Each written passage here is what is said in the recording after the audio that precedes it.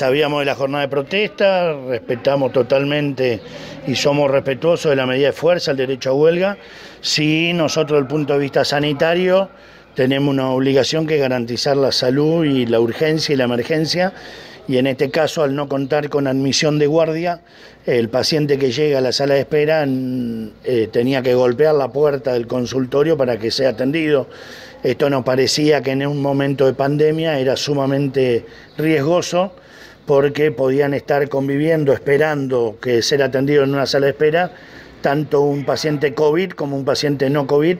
y esto podía poner en riesgo contagio y que después ese paciente no COVID terminara internado en el interior del hospital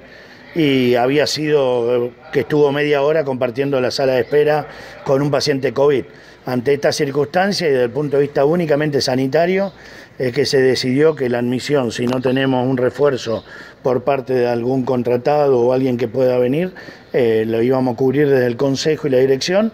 Y así que bueno, de las seis y media estamos en la ventanilla de admisión para poder orientar a la gente y darle la prioridad en el caso del COVID para que pase al área respiratoria y evitar contagio en esta sala de espera. En el día de hoy nos llegó tal cual había avisado la ministra que entre ayer y hoy iban a estar llegando los freezer.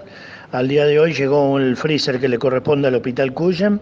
que ya tenemos un lugar destinado a tal fin, conectado al grupo electrógeno con medidas de seguridad